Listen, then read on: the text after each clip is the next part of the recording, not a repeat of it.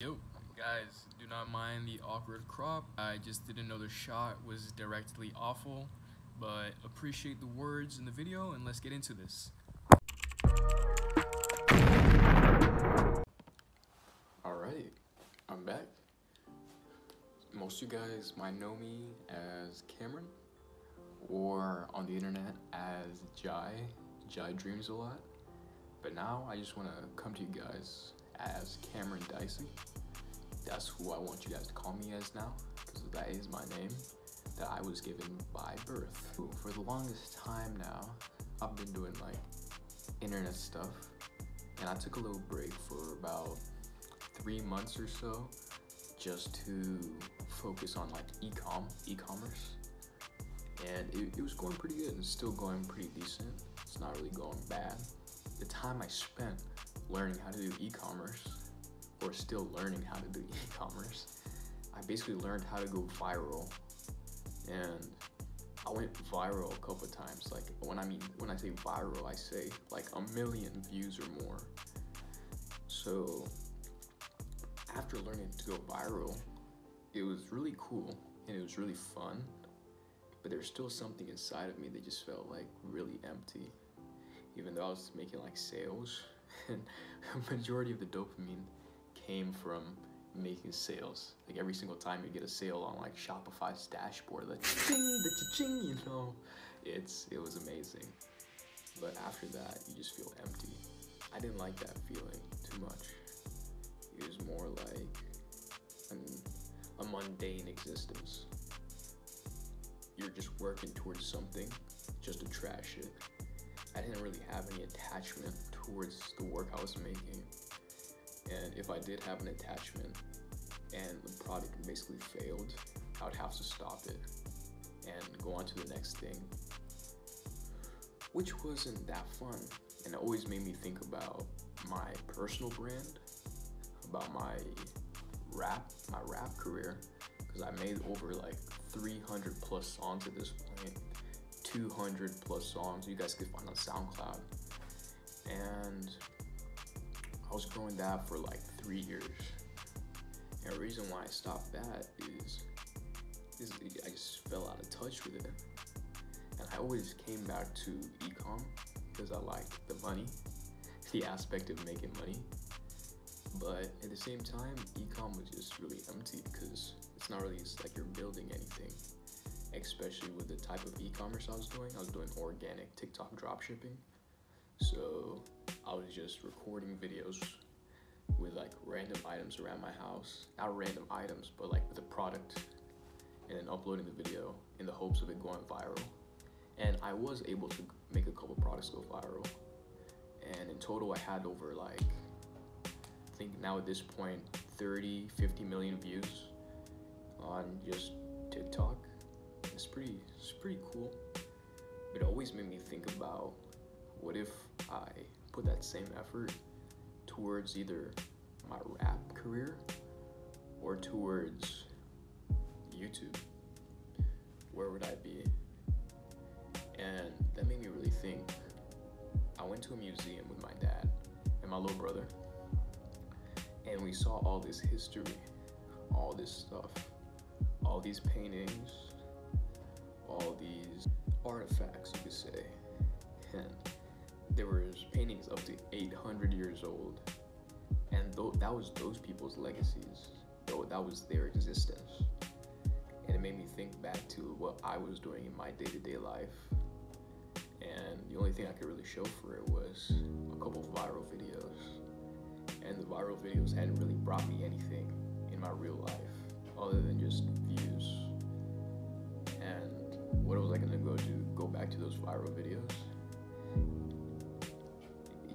Feel empty. And I thought back to a time when I was doing YouTube, doing my music, and I liked that because every day I was working towards something bigger than myself, towards actually not just something bigger than me, but my my legacy, what I would stand for at the end of the day. And I like that a lot. That's why I come back here and I I make these videos. That's why I propped up the camera and I said, F it, man.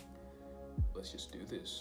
Because for about two, three weeks now, all I've been thinking about was just starting a channel up again. But I didn't know what to do. I didn't know what kind of channel I wanted to start. Whether I wanted to make a profit or do it for fun. And obviously, you can't just do something without making money, or else you're gonna die broke. But then I looked at those paintings. Then you have like Leonardo da Vinci. You have some of the other painters that I can't really think about off the top of my head right now. And they were just doing it for the fuck of it, for fun. That was interesting to me. It wasn't just today. It was over the last few days. Me and my friends were watching Mr. Beast videos in Discord. yeah, Mr. Beast. And I liked his videos. I liked what he was standing for because when you're watching Mr. Beast video, he isn't selling something to you. He's just entertaining you. He's he's entertainment. He's something for you to watch, something for you to listen to, somebody you can learn from, and not just somebody to sell you something like most of these YouTubers are right now. Most of them are just salesmen. I didn't like that at all. You just feel like every time you get on a video, they're trying to sell you something.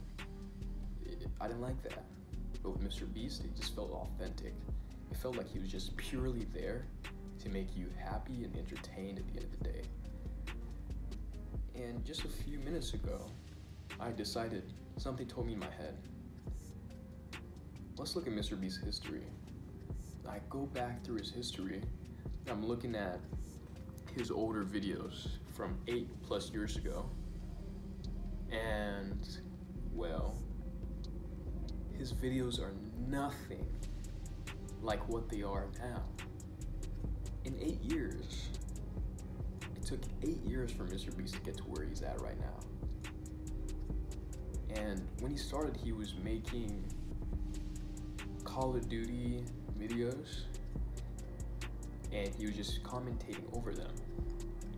And just off of that, he was able to build his fan base. And of course, he evolved. But watching him do that just made me say, it, man. I'm gonna pick up this camera and just make it. Make the videos. Why wait for something? Why wait for inspiration? I'm gonna, I'm I'm squeeze that inspiration out of me. It just inspired me, and I'd like to say thank you, Mr. Beast. Thank you very much for that. You're probably not watching this, but hopefully one day you are. That really inspired me to just pick up the camera. And he had these videos that he was making where his fan base kept asking him to make a certain kind of video. But he decided that he would still give them that video once a week. But at the same time, the other six days of the week, he would make whatever he wanted.